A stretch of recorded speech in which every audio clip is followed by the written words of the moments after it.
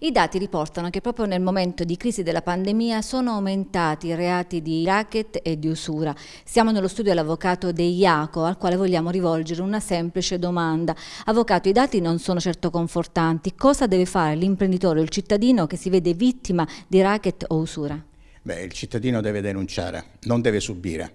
Il problema però è che io comprendo, eh, anche se denuncia, non ha un supporto coerente da parte dello Stato e da parte degli enti territoriali preposti, per cui è evidente che poi alla fine, eh, pur di non soccombere, di non fallire, di non chiudere, avendo il desiderio di lavorare, eh, naturalmente si rivolge a delle forme di finanziamento che poi naturalmente lo, lo sfruttano. Come fare per denunciare? Sono delle associazioni perché non abbiamo più a Lecce il centro anti-racket. Dove deve andare il cittadino o l'imprenditore?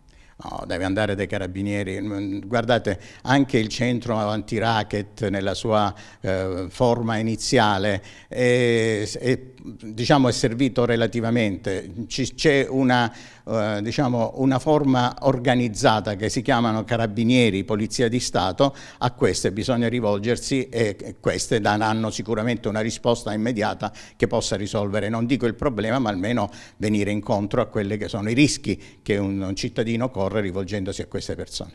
E il cittadino che ha paura di avere delle ritorsioni, lei cosa sente di dire?